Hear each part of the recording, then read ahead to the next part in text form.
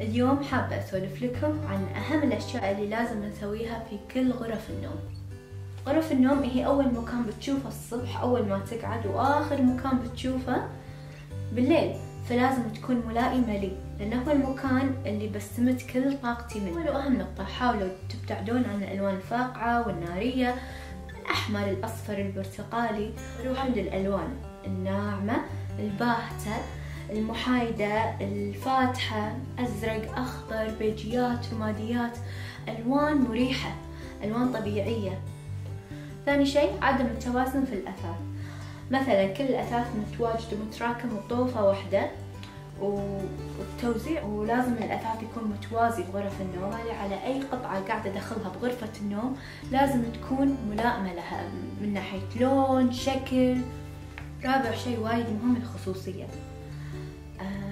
ما يصير أول ما يبطل الباب على طول بوجه السرير. المفترض أحاول يعني أحط يمكن partition أو gypsum board تعطيني عازل خصوصية بغرفة النوم. أحاول هذا طبعا يرجع حق النقطة السابقة توزيع الأثاث. أوزع أثاثي بطريقة ملائمة لي. خامس شيء جدا مهم السرير. وايد مهم يكون فيه هيدبورد مريح والأقمشة يعني تكون خامتها صح وناعمة ومريحة.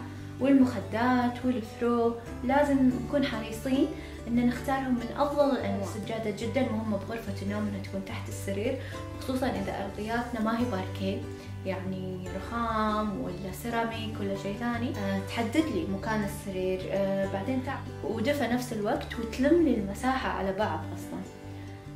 آخر أهم نقطة هي الإكسسوار. جدا مهم إني أحط إكسسوار بغرفة نومي. أول شيء تعطيني ملمس جديد للمكان.